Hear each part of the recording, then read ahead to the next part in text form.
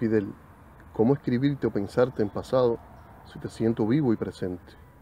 ¿Cómo hacerlo si no hacen falta plazas ni monumentos para actuar como nos enseñaste en defensa de una obra victoriosa, la de David frente a Goliat?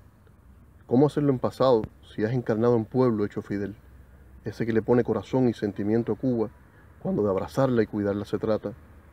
¿Cómo verte lejos con solo 95 años si en cada sonrisa de nuestros niños renaces y te multiplicas con vigencia de futuro? Para homenajearte, te busco, te leo y en auténtico acto, te juro que venceremos.